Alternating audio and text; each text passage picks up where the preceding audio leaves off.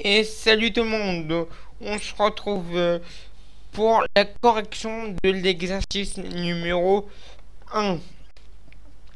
Euh, alors, si vous n'avez pas vu euh, l'exercice en lui-même, je vous conseille d'aller voir la vidéo qui explique l'exercice et de le faire avant de regarder cette vidéo. Je mettrai un, lien, le lien s'affiche à l'écran pour aller regarder euh, l'exercice. Donc euh, je vais quand même au cas où euh, rappeler l'exercice. Donc je vais lancer le logiciel. Donc l'exercice en fait c'est un jeu où, où voilà il y a un nombre, le logiciel choisit au hasard un nombre secret et on doit le trouver et euh, voilà, il nous indique euh, le, nombre est plus petit. Euh, donc on va faire 300. enfin, c'est pas logique, mais bon. je vais mettre 100. Voilà. Il est encore plus petit. On va mettre, je sais pas, 10. Voilà, il est plus grand. Bon, bref, voilà. Donc, c'était un jeu comme ça où, au moment où on trouvait le nombre secret, il nous disait bravo, euh, vous avez gagné, vous avez trouvé le nombre secret. Ou alors non, vous avez perdu, euh, le nombre secret était 258. Euh, voilà. Donc on pouvait aussi choisir le nombre de chances qu'on voulait. Voilà. donc on va passer à la correction. Alors, on va commencer par le plus simple. Déjà, les variables. Euh, les variables, voici toutes les variables. Donc il y en a 1, 2, 3, 4, 4 plus 1. Donc voilà, euh, il n'y a que 5 variables. Donc une variable qui, qui, qui stocke le nombre secret. Une variable euh, qui stocke le nombre que le joueur a saisi. Euh, form party, ça c'est une variable qui détecte quand si si euh, si s'il y a une partie en cours ou pas. Euh, vous allez voir pourquoi elle quoi ça sert exactement cette variable. Et euh, le nombre de chances qui est stocké dans la variable chance. Et bug, c'est un petit peu spécial. Je l'ai expliqué dans dans dans dans l'explication de l'exercice mais je vais leur expliquer dans cette vidéo. Alors, on va commencer par le plus simple. Hop. On a, on a déjà quoi graphiquement?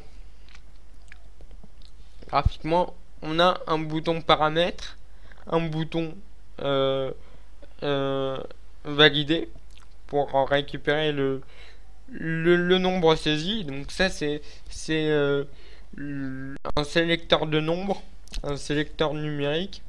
Donc euh, dans, dans la dans dans, dans la barre d'outils, euh, il est euh, c'est ça. Voilà. C'est ça. Donc et on a aussi deux labels. Alors c'est quoi un label? C'est ça là.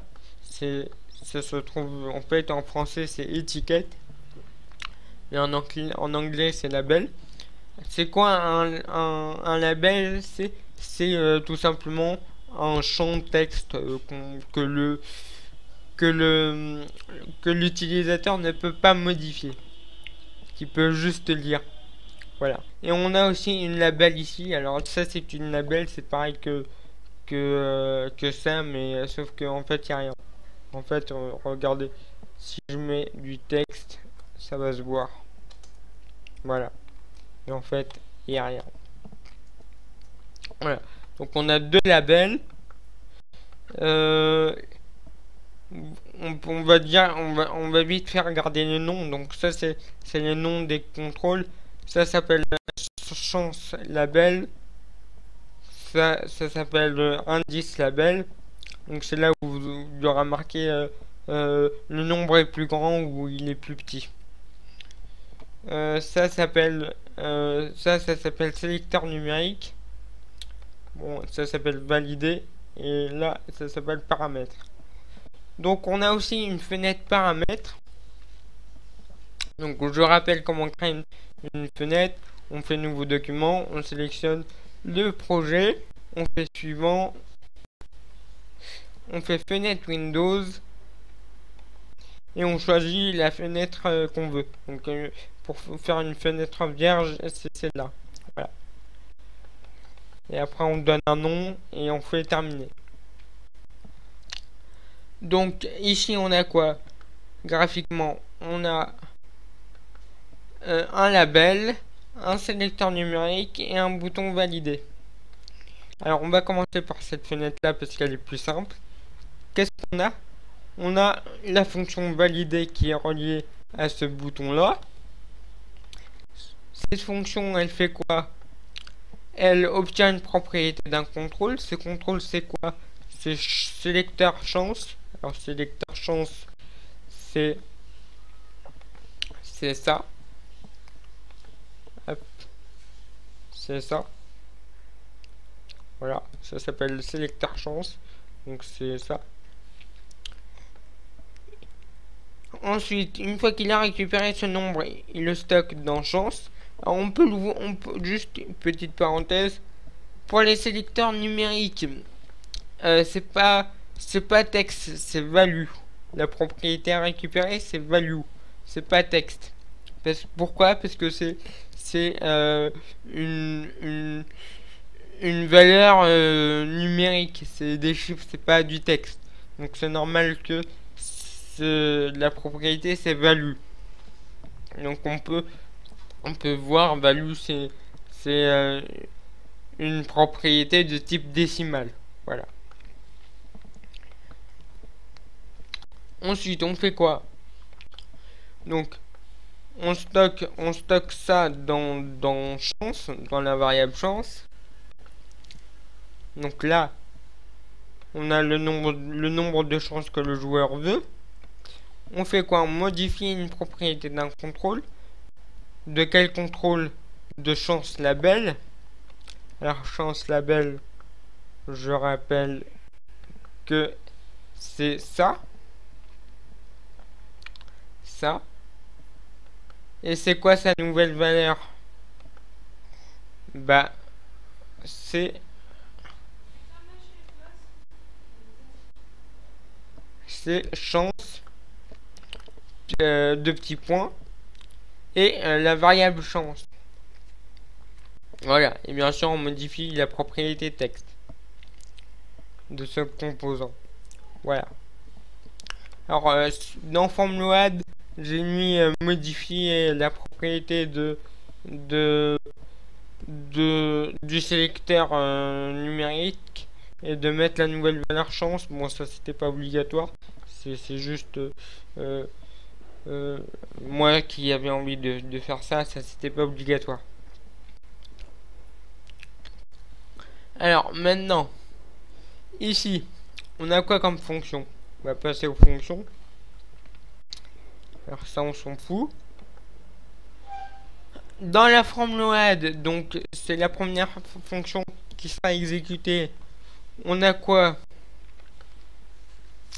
On a modifié la valeur d'une variable. Cette variable, c'est laquelle? C'est chance. La nouvelle valeur, donc 10. Donc on, par défaut, on a, on a 10 chances pour euh, trouver le, nombre secret. Alors, notez bien que c'est une euh, valeur de type euh, numérique. Hein. Et on, décoche conserver la forme décimale de cette valeur puisqu'on peut pas trouver euh, euh, on, peut pas avoir euh, une virgule de chance. Voilà. Ensuite on modifie la valeur d'une autre variable. Cette variable c'est fin partie qui est qui est à false. Pourquoi? Bah fin partie. Bah non c'est pas la fin de la partie c'est le début d'une nouvelle partie. Donc quand quand le logiciel se lance, il, en gros, il lance automatiquement la nouvelle, nouvelle partie. Donc, euh, fin partie est égale à fausse. Donc, euh, voilà. Et on génère un nombre aléatoire donc entre 0 et 300, on décoche le nombre décimal et on, on, enregistre ce résultat dans la variable nombre secret. Voilà. Euh, donc voilà. Alors petite, petite parenthèse, euh, le, bouton paramètres,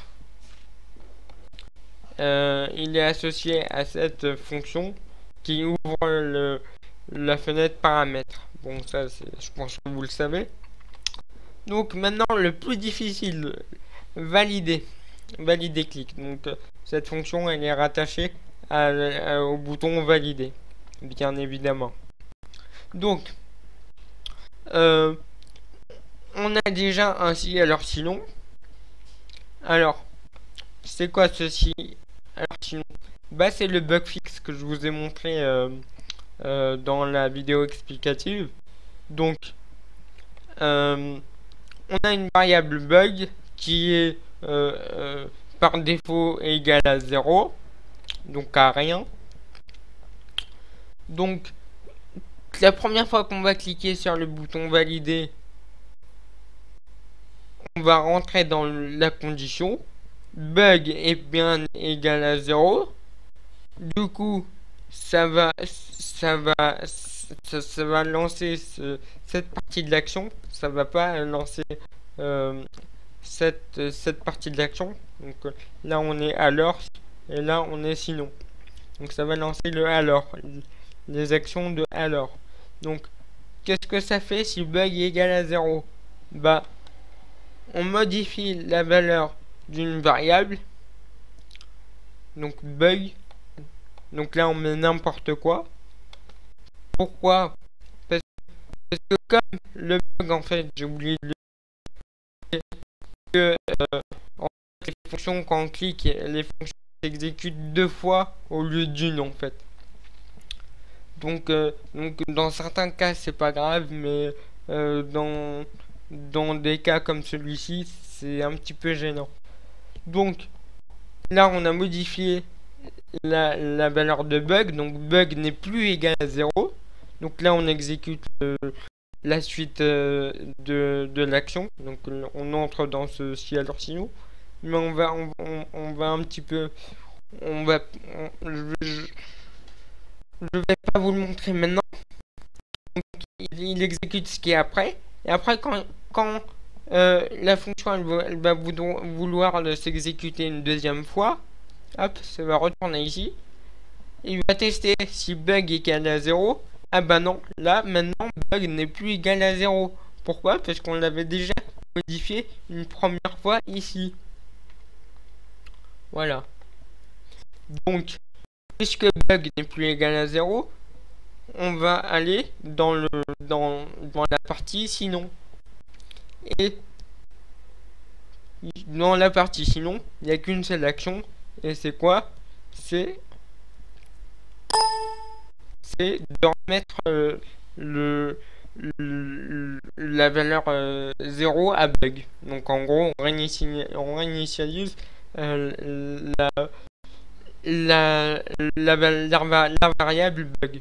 Voilà. Donc en gros, la première fois qu'on va cliquer, bug sera égal à 0. Après, ça va rentrer ici. Du coup, la bug n'est plus égal à 0. Ça va exécuter la suite de l'action. Ça va vouloir revenir euh, la deuxième fois que, que, que la, la fonction sera exécutée. Bah, bug ne sera plus égal à 0 du coup ça va aller dans le sinon. Et sinon qu'est-ce qu'il fait? Bah il réinitialise la variable euh, bug et c'est tout. Donc voilà. Donc euh, l'utilisateur quand il va cliquer ça va rien changer. Il aura il aura beau cliquer euh, des tonnes de fois des tonnes de fois ça marchera hein. c'est pas parce que l'action principale est ici que que ça marchera pas si bourrine le, le bouton action puisque à chaque un clic sur le, le bouton égale, euh, égale deux exécutions euh, de la fonction donc en gros les deux les deux parties seront, exécutées en fait donc ensuite Euh, on va passer à la suite. Le, si, alors, le deuxième si, si alors sinon. Si euh, fin partie est égal à phase, donc en gros, si on est en pleine partie, on va exécuter des actions. Sinon, on va exécuter d'autres actions. Alors, je vais commencer par le, le sinon. Donc, donc si, la partie est finie, en gros, si, si fin partie est égale à true, et eh ben en gros ça veut dire que la partie est finie. Alors qu'est-ce qu'on fait si la partie est finie? On exécute une fonction d'un projet. Et cette fonction c'est laquelle? C'est from load. Alors from load, Qu'est-ce qu'il fait? Bah, Il va regarder ce que, ce que FromLoad il va faire. Il va réexécuter ce qu'il y a là. Ensuite, il va revenir ici. Il va revenir ici. Il va continuer à, faire, euh, à faire euh, euh, la suite de, de, la fonction. Donc, qu'est-ce qu'on fait? En fait, là, on réinitialise tout. Là, on modifie la propriété d'un contrôle. Quel contrôle? Bah, Le bouton valider la partie texte et sa nouvelle, valeur c'est validé. Voilà, puisque, puisque par défaut le bouton son texte c'est validé. Voilà. Ensuite on va modifier une propriété d'un autre contrôle. Ce contrôle qui est euh, indice label qui sera égal à rien du tout. Donc on, on supprime le texte en gros. Donc Indice label, je vous rappelle que c'est ça. Euh, il va modifier une propriété d'un autre contrôle aussi.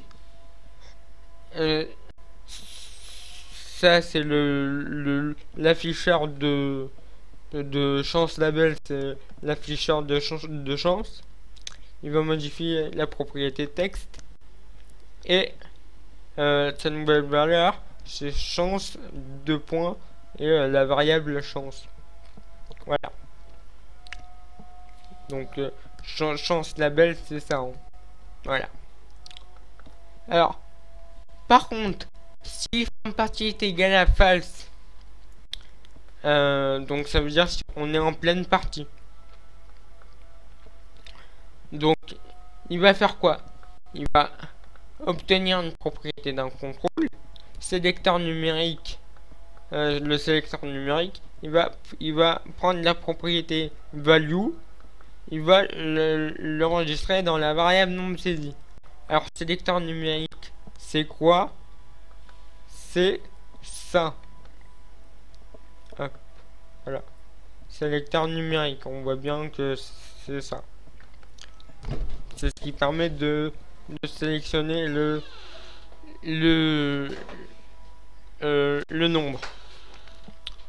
Donc une fois qu'on a enregistré ça dans euh, nombre saisi, il y a trois il y a trois euh, il y a trois si alors sinon. Alors la première qu'est-ce qu'elle dit?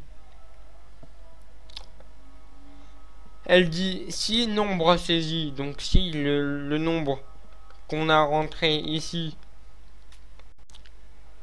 est inférieur donc je vais peut-être vous montrer euh, comme ça, ça sera peut-être plus simple. Si le nombre que l'utilisateur a saisi est inférieur au nombre secret, alors on va euh, modifier la propriété d'un contrôle. Ce contrôle c'est indice label on va modifier la propriété texte et on va dire le nombre secret est plus petit. Pourquoi on dit ça? Parce que le nombre qui a été saisi était, est, inférieur au nombre secret. Donc voilà. Donc là, comme, comme le joueur il n'a pas trouvé le, la bonne réponse, et eh ben qu'est-ce qu'on fait? On, on soustrait 1 à la variable chance. Donc là, on fait chance moins 1 et on, on, le réenregistre dans chance. on, et, là on l'affiche en fait. On modifie la propriété d'un contrôle. L'afficheur de chance, donc chance label. On modifie la propriété texte et on met chance de petits points et la variable chance. Voilà. Donc on fait pareil si si euh, si au contraire euh, le nombre saisi est, euh, plus petit que le nombre le nombre secret. sauf que là en fait c'est pas c'est au, au, lieu que ce soit le nombre secret est plus petit, c'est le nombre secret est plus grand. Donc donc on, modifie juste le texte ici et euh, le signe euh, le, signe euh, inférieur à donc en fait là où le premier si alors sinon c'était c'était comme ça. Et là c'est c'est comme ça. Voilà donc c'est inférieur à voilà. Et on a une donc donc euh, c'est pareil, hein, on soustrait 1 euh, à la à la variable chance parce qu'il y a une erreur et on l'affiche. Alors il y a une troisième. Il y a une troisième euh, alors sinon. Et à votre avis c'est quoi? C'est c'est celle-là. C'est si un nombre saisi est égal au nombre secret. Donc en gros là, si, si l'utilisateur il a, il, a, il a réussi à trouver le nombre secret, et eh bien qu'est-ce qu'on fait? On modifie la propriété euh, du contrôle euh, indice euh, label. Je le rappelle quand même que c'est ça.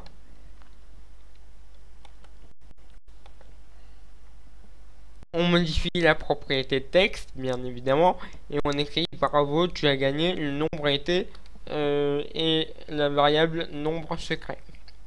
Voilà. Donc en gros, le nombre était x. Voilà. Et ensuite, qu'est-ce qu'on fait? C'est pas fini? On modifie la variable, euh, la, la, valeur de la variable fin partie. Donc pourquoi? Bah Parce que maintenant que le joueur il a trouvé le, le nombre secret, bah, la partie elle est finie.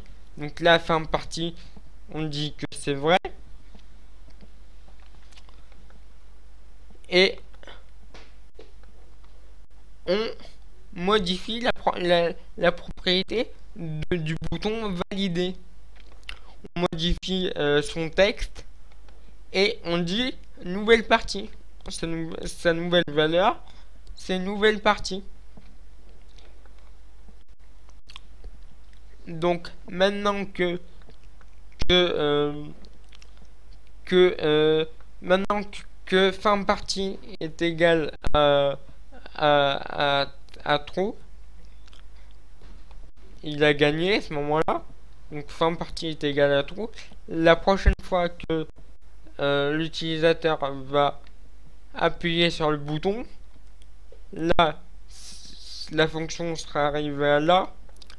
Fin partie euh, sera égale à, à true.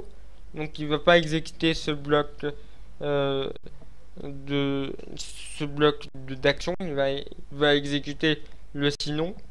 Donc, euh, forme partie est égale à, à true. Il va, il va, il va, il va, il va, il va aller ici. Et voilà. Je vous ai déjà expliqué ce que ça faisait. Euh, par contre, imaginons que euh, que la partie, on est encore dans la partie et que il trouve pas le joueur et qu'au bout d'un moment le, le, nombre de chances tombe à zéro. Et eh ben, qu'est-ce que ça fait? Il y a une, il y a une quatrième si alors sinon ici que je vous ai pas montré. Si alors sinon, une fois que une fois qu'on aura soustrait euh, la variable chance, il faut vérifier qu'elle ne soit pas égale à 0 ou inférieure à 0. Donc là on a une si alors sinon. Donc qu'est-ce qu'elle dit cette si alors sinon? Elle dit que si je vais vous montrer comme ça. Si chance est inférieure ou égale à 0, alors, alors juste petite parenthèse, c'est la, valeur 0, hein. c'est pas la valeur rien. Ici, il faut mettre un 0, faut pas mettre euh, rien du tout, faut juste mettre un 0. Si chance est inférieure ou égale à 0, alors on modifie la propriété euh, d'un contrôle. Ce contrôle, c'est indice label. Donc, euh, c'est en gros, c'est le, le, le, le, label information en fait. J'aurais dû, dû l'appeler comme ça. On va modifier la propriété texte. On va dire tu as perdu le nombre était euh, était, euh, était x. Donc là c'est nombre secret, la variable. Voilà. Donc bah c'est tout. C'est tout, c'est tout, c'est tout. C'est tout. C'est tout, voilà. J'espère que vous aurez compris la correction. Si vous avez réussi, si vous aviez réussi euh, bah tant mieux. Si vous n'avez pas réussi, bah, je vous invite à, à réessayer. Si vous n'avez pas fait comme moi, bah, euh, si vous n'avez pas fait comme moi, mais que vous avez quand même réussi, bah écoutez, je vous dis chapeau. Je vous dis, je vous dis GG. Euh, sur ce, je vais vous laisser. Donc euh, merci d'avoir regardé cette vidéo qui a été je crois longue, non 30 minutes, bon ça va. Je, préfère, je préfère, euh, préfère euh, rester, bien vous expliquer, quitte à que la vidéo fasse, fasse un siècle, mais que vous compreniez bien. Donc voilà. Donc bah, sur ce, euh, n'hésitez pas à mettre des j'aime, à, mettre des commentaires si vous n'avez pas compris, si vous avez des questions, n'hésitez n'hésitez surtout pas à me les poser euh, dans les commentaires. Euh, mettez des j'aime ou des j'aime pas, c'est comme vous voulez, mais moi je préfère, personnellement je préfère les, les, pouces bleus. Hein. voilà. Et n'hésitez pas à vous abonner si ce n'est pas déjà fait. Sur ce, je vous dis, allez, ciao